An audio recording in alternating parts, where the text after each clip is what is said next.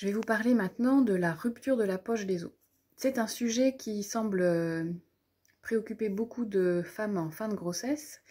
Qu'est-ce que c'est donc?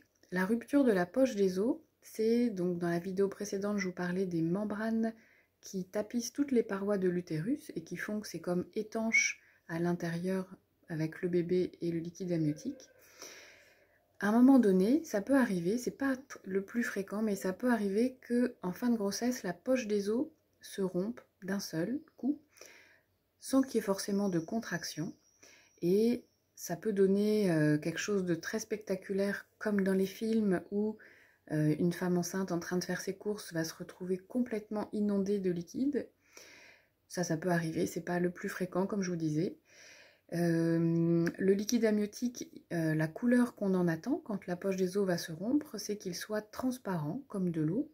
Il peut être traversé de petites particules blanches d'une sorte de crème. Cette crème, c'est euh, ce qu'on appelle du vernix et cette crème, elle est sur la peau du bébé pendant la grossesse, ce qui lui permet lui aussi d'être un peu étanche et que sa peau puisse bien supporter le fait d'être dans du liquide. Donc ça peut arriver, selon le terme où vous perdez les os, qu'il y ait un peu de cette pommade blanche à l'intérieur du liquide en même temps que le liquide qui sorte. C'est correct, c'est très correct. Et une des choses qui pose des questions, c'est la fissuration de la poche des os. Parce que quand ça se rompt, franchement, on le voit, pas de souci. Et donc, euh, si la poche des os se fissure, qu'est-ce que ça va faire? En fait, c'est pas comme si vous aviez une seule chance de vérifier ça.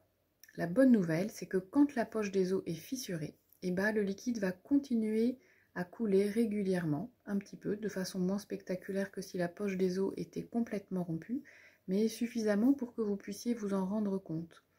Et les, écoulements de liquide qui vont passer donc à travers le col de l'utérus et sortir par le vagin vont se reproduire régulièrement, notamment quand le bébé bouge ou quand vous, vous allez bouger ce qui permet, même si vous ne vous en rendez pas compte au premier coup, à un moment donné, de vous rendre compte qu'il y a quand même quelque chose de différent et qu'il y a des écoulements plus francs que ce que vous aviez éventuellement en fin de grossesse euh, de façon habituelle.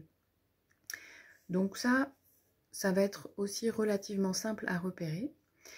Et une autre couleur qui peut être attendue au niveau du liquide amniotique, c'est euh, une couleur un peu rosée, puisque si par exemple il y a des contractions en même temps que vous perdez les os, le col de l'utérus peut se modifier, peut avoir commencé à se modifier, et du coup qu'il y ait un petit peu de sang qui se mélange au liquide amniotique quand il passe à travers le col, et donc que ça colore légèrement le liquide amniotique.